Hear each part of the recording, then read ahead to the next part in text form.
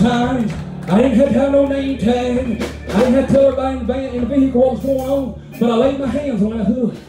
I said, God, I said, you did this for Daddy. I said, I saw it. And I said, if you can do it for him, I said, you're still the same God. Still the same God. That's all I did. I said, if you don't fix it, it ain't gonna get fixed because you all I got. So when God all you got, you got all you need. I shut the hood, I looked at the brother, I said, come on, let's go. He looked at me like I was crazy. I got back in, cranked it up, put it in drive, we went on to church. Amen. The same God.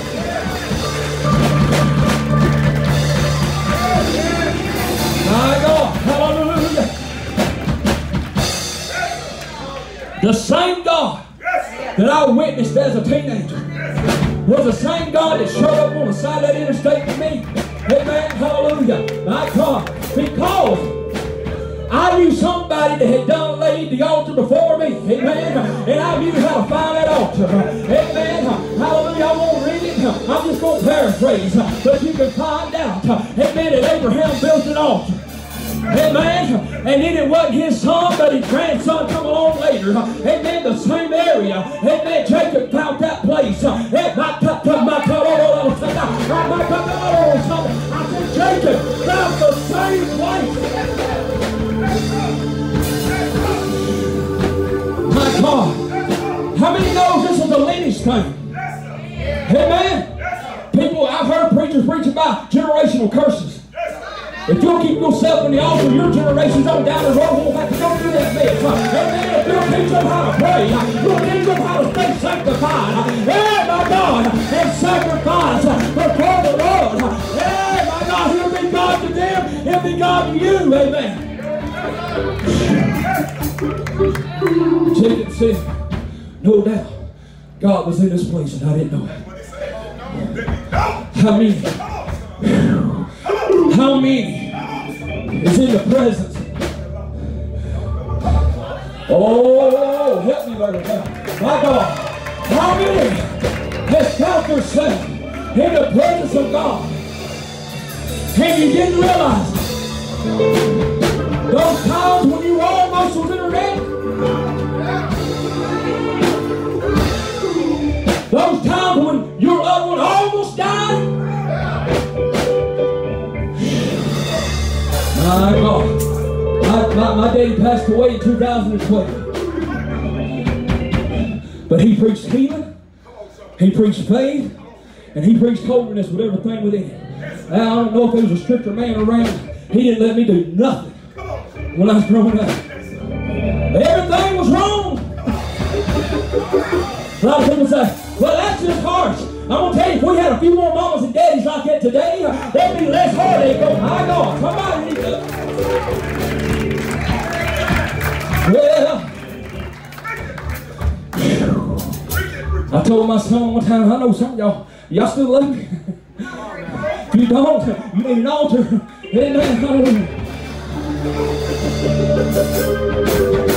I told my, my son was wanting to go somewhere one time, and I ain't going to tell it because it may offend half of y'all.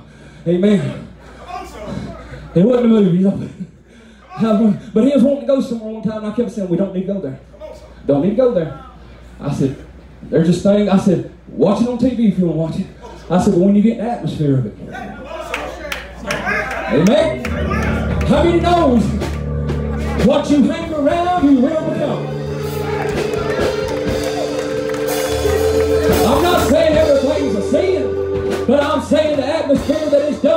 Is wrong.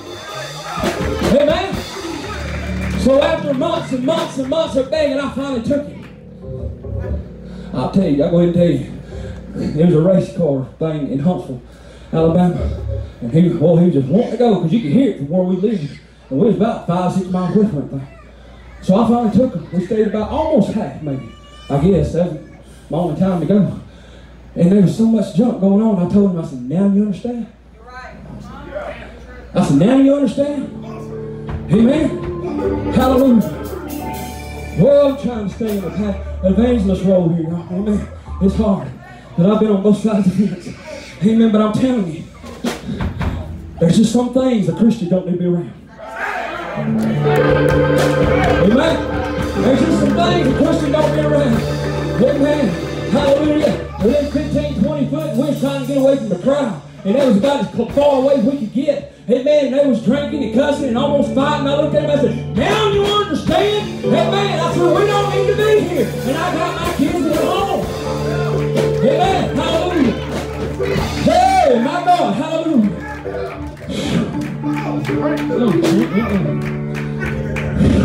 Lord have mercy. Two years ago, February the 2nd, my, my birthday's on February 9th, and it was on February 2nd, I'll never forget. We was living in Miss, downtown Mississippi. That lady right there's brother was holding revival. And we done went and listened to him, listened to him, listened to him, several places. And I wasn't to go this night. And I was sitting there and I had some health issues going on. I didn't know what was going on. Amen. Anybody ever been like that? You know something ain't right, but you just don't know what. Amen. We had a wood burning heater, and the, and wood shed was about probably 30 feet from the house, and I was just giving out to, to carry some wood to the house. I didn't know what was going on, but I knew it wasn't good.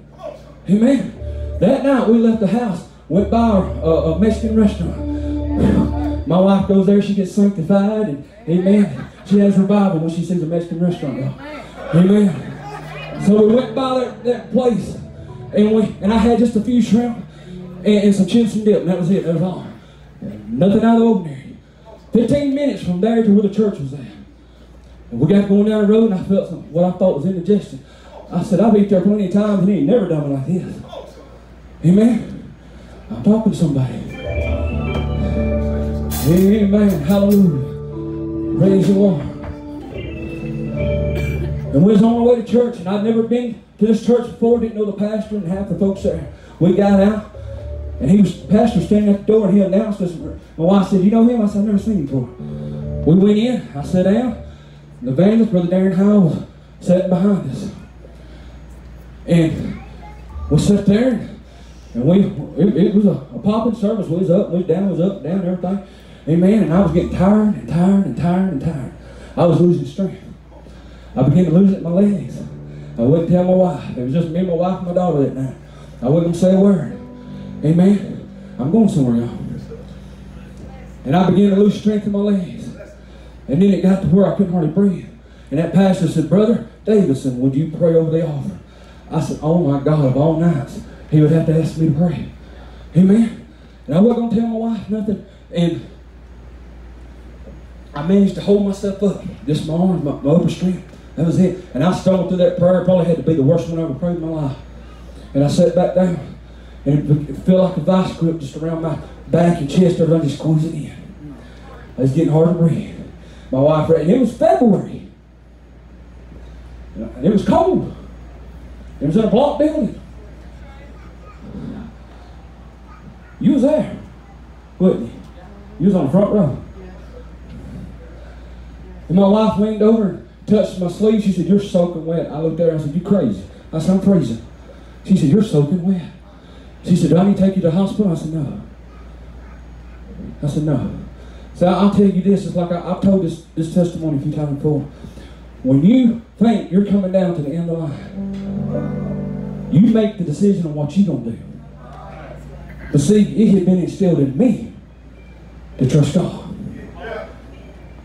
I probably couldn't have made it out the door if I tried.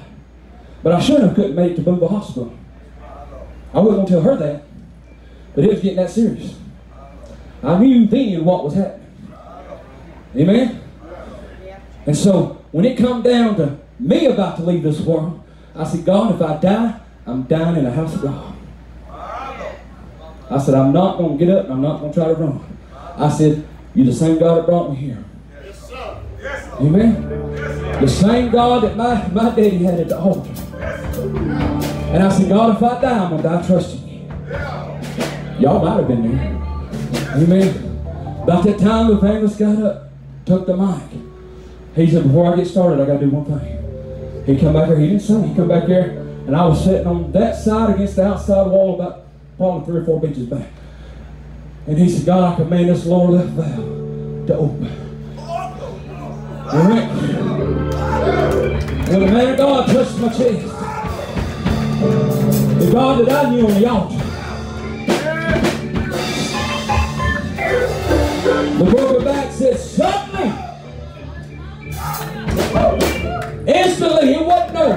well, it's going to get better in time. I'm saying instantly because I didn't have time. I didn't have time. But instantly, when he laid his hand on my chest, he said, y'all stretch your hands this way. Instantly, my breath came back. And then my strength came back. Hey, my, my, my,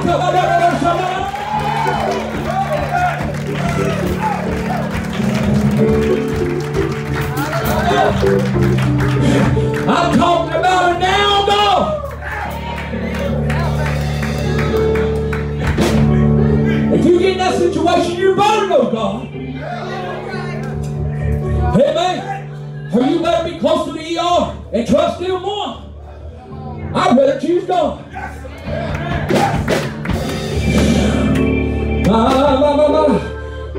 I told somebody the other night, hey man, I said, I said if you have a Ford car or you have a Chevrolet that breaks down, you don't take it to a Nissan. You don't take it to the Chrysler or Dodge. You don't take it thing to who made it.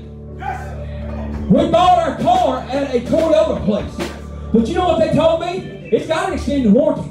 They said, well, you might want to take it right down there because if you bring it here, it's covered, but we're going to have to take it down there to the Dodge place. Why?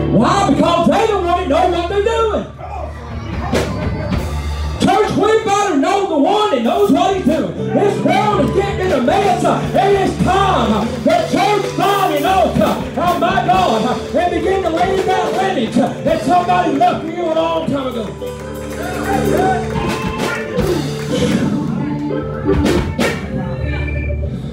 All right, let me try to bring this to a close. Amen. Do you understand what Jacob found? It was the residue of faith that was left there by his grandfather. If we ain't leaving something for the next generation, they ain't got a chance.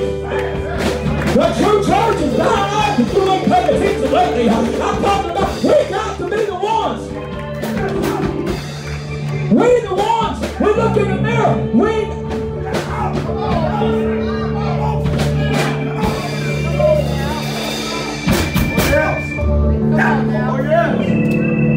It seemed like just a, just a couple years ago that I can remember hearing my daddy say, he pointed to young and said, This is the next generation. This is the next church rising up. Back then, I heard that so much go through my ears of different preachers. I was young. And that old saying, young and dumb. Now, Come on with us. Come on. we may not be so young, but there's still so much dumb.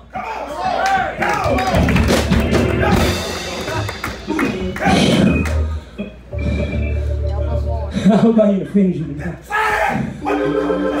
But I told, I told one church, I stood behind the pulpit, I said, you can't fix stupid. Amen, hallelujah.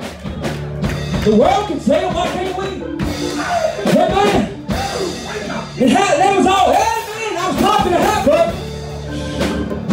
my God. Didn't know what you was asking for, you? Come on. Amen.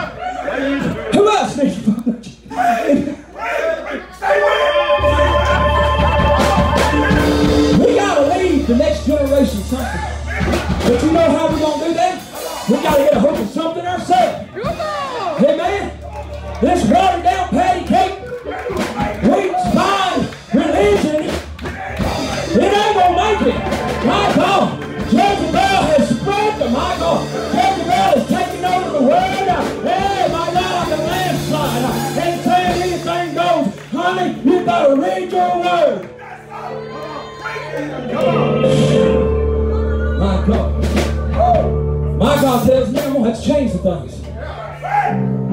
Amen? Come on, get real. Come on, get real. Come on, come on. Come on. Come on, get real. We're going to have to change some things. That's up. Get through. Come on. What I was talking about a while ago is a start. If we can't unite with one another, the love of Christ ain't in you nowhere. My God. My God. I don't care how much I shout. I don't care how much I speak in tongues. Amen. If I can't love my brother, yeah, I ain't going.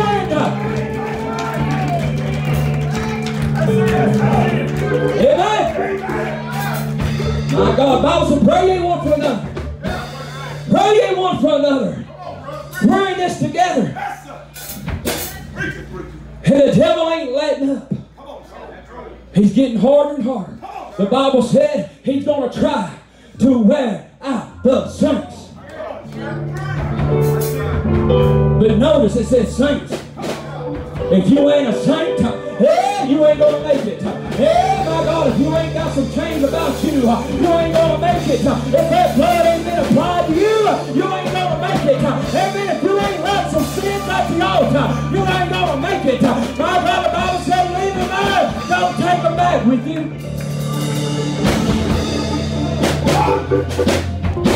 Why so hard on the church world today and on the pastors? You read the statistics. It said, it, yes. Pastors killing themselves, quitting, closing the door, shutting, going to find something else to do. Amen. But if somebody will get up this thing and I say, Pastor, I'm going to give it everything I got. Teach me the word, the whole word, nothing but the word. Amen. I'm going to stand here. I got your back.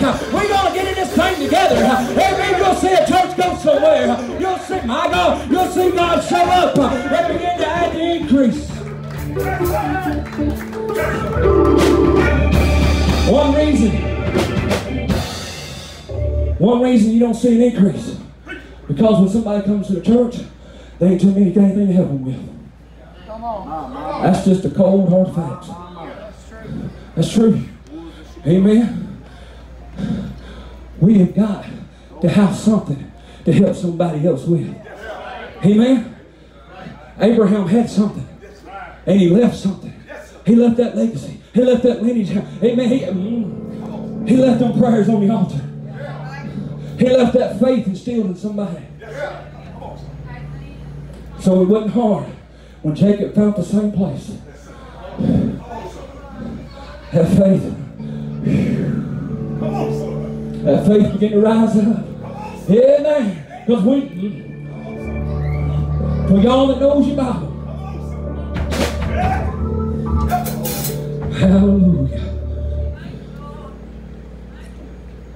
For those that know the scripture, if you don't, you need to go.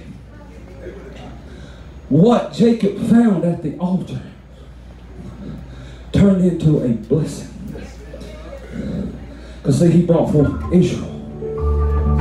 And everybody knows, if you paid attention, everybody's got one of these things in their hands all the time. Y'all look this phone? Amen. I got a two-year-old granddaughter. She knows how to work at things more than I do. She can find anything. On there, she's even she's even trying to learn sign language, believe it or not, too, because she's watching somebody on them YouTube. Amen.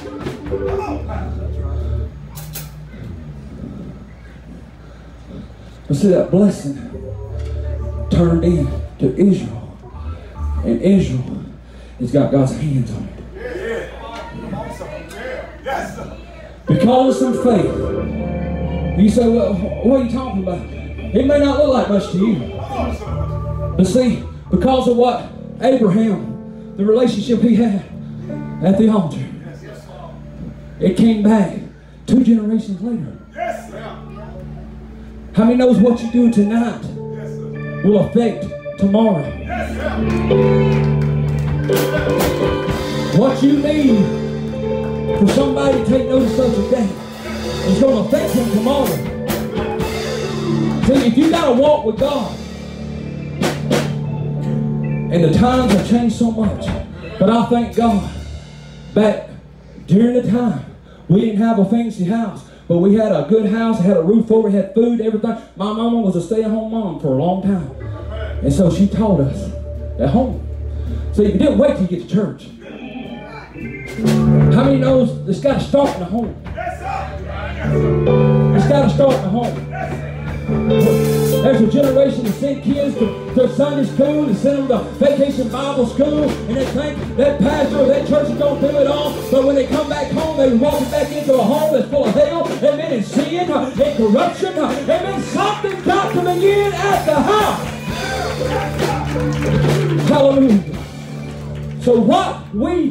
today will affect tomorrow. Amen. And what we teach our kids. Brother, I want, hope I don't mispronounce his T.F. Tenney, I believe it is. Amen. A man of God that's done gone on, I believe. He, he spoke this.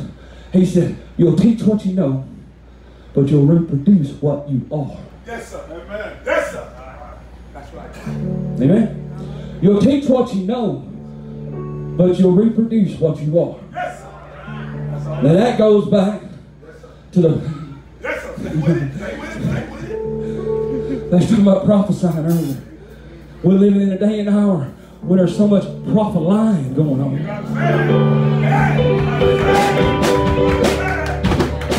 You see, the Bible says, My sheep will know my voice, and a stranger. Amen. Come on, somebody. Amen.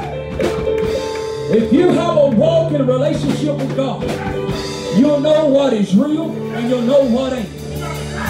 Amen. And you can tell by looking around. Everybody in this world don't have a real thing because they fall for everything. Amen. There's no soul. You gotta stand for something or you'll fall for anything. And this nation is falling head over heels for a lie from straight from hell.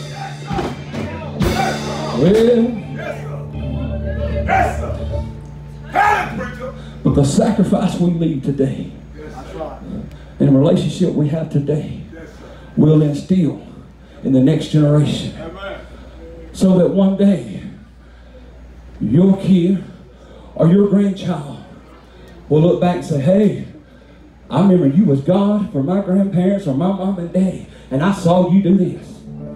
And so I know I can trust you to bring me through this. Amen? Hallelujah. My God, hallelujah. Y'all stand on your feet tonight. Amen. Hallelujah, holy kid. My God. Paul said, I didn't come with enticing words. Me and my son was having a conversation the other night, and I was telling him, we bounce things off of each other. He's a fired up preacher, but he ain't, is he 21 yet? He just turned 21? Yeah. So that's why he's able to be fired up. Amen. I used to be more, too.